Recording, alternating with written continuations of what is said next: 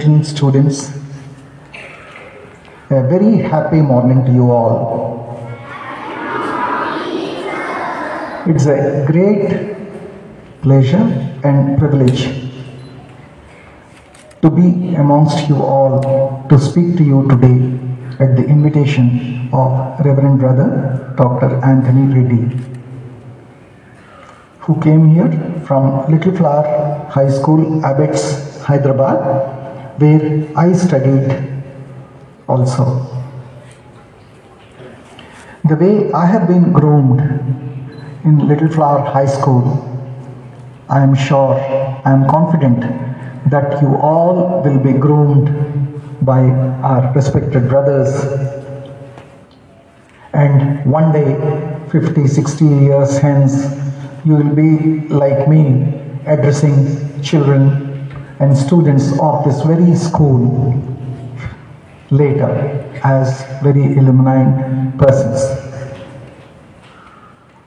I chose to be going to the Indian Army when I was in Little Flower High School. I wrote the Union Public Service Commission examination for National Defense College Defense Academy, which is located at Khadakwasla, Pune. And I got selected when I was just after 11th standard. And from there on, my life in the Indian Army, Bharatiya Sena, started. And 41 years of non-stop work for the development of the Indian Army, my own regiment, and the people living along the border areas was a great joyous journey for me. When I was a student like you in Little Flower High School, I used to be very studious and very conscious of gaining knowledge. So, all of you should strive to gain as much knowledge as possible. In my days, we used to depend on the newspaper and the All India radio. Now, you are exposed to computers, internet, laptops, and mobile phones and television where you can gather as much knowledge as possible. All of you are different. You have different passions and interests and hobbies. Whatever you like, whichever subject you like, you should develop interest in that. You should study more about that so that you can be an expert in your subject. Whether it is mathematics, physics, fine arts, social sciences, humanities, etc. The choice of the subject will be decided once you grow out of the school and enter 11th and 12th class and beyond that. Now the time for you is to develop your moral values. All the good things that your parents and teachers have taught you. Like truthfulness, cleanliness, helpful nature, etc. You should play well. If you play on the sports field, you will develop good body, strength, and also the skills of being a team member and empathy. If you are playing on a football field and if you have to score a goal, you have to be helped by your team members to take the ball up to the goal post and then one of the team members will kick it to make it a goal. That way, this team is very important And you, as individual members of the team, are very important to achieve the goal. So I spoke to you about good the sports. You have to also have good healthy eating habits. Whatever your parents and mother gives, you should eat it. You should not go not go for Coca-Cola and chips and which are and pizzas available in plenty. What your parents give you is best for you. With that, you will grow stronger bodies and you will have a healthy mind. With that, you can progress in life. In your childhood, in the student days, with the guidance of your teachers and parents, you should select a goal for yourself. Like for me, when I was in class 7 8, I decided that I'll join the army.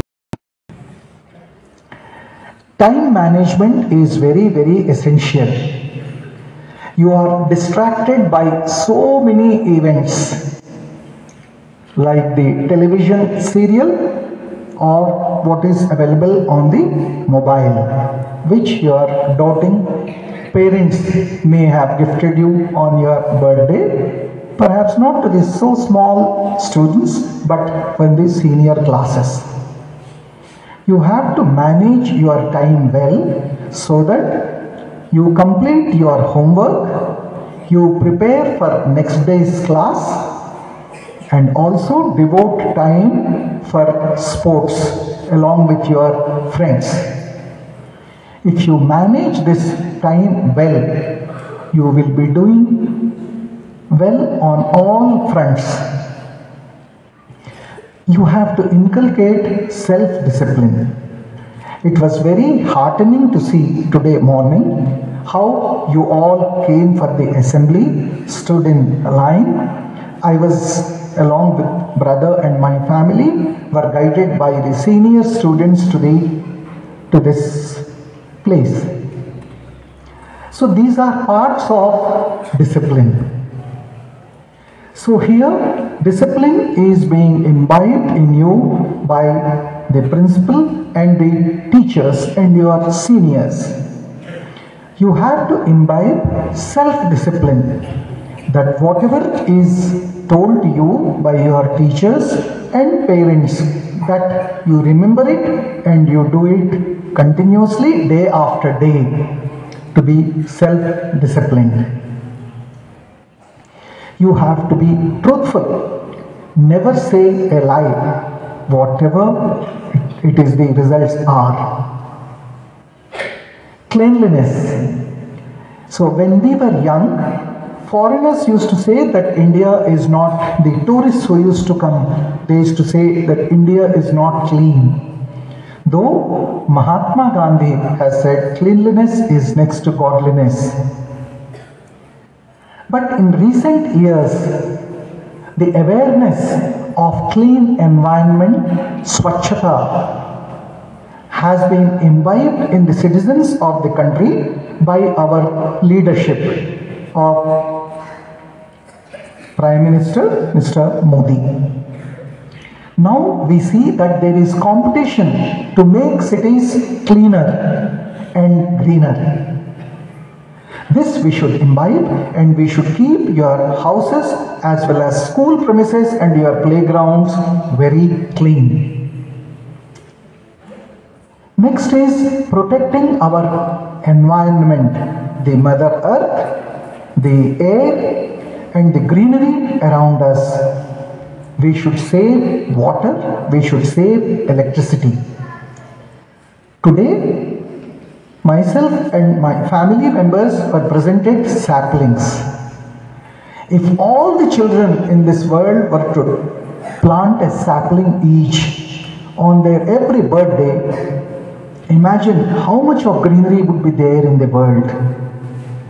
With this greenery, we get food to eat, we get good air to breathe and healthy environment. We should preserve nature. Now, technology is progressing very fast. There are newer things available to you which were not available during our times. Brother told me that you have artificial intelligence, computers, exposure, and the goal of your school itself is strive for excellence. Every day when you come for assembly, you should say that strive for excellence. So, with the help of the technology and the, which is growing at a rapid pace, you should strive for excellence in whatever field you choose. With this, I wish all of you a very bright future. I am sure you will live up to the motto of this school. You will strive for excellence and become good big boys like me and my son who is a BE MBA from Pune University. God bless you all. Jai Hind.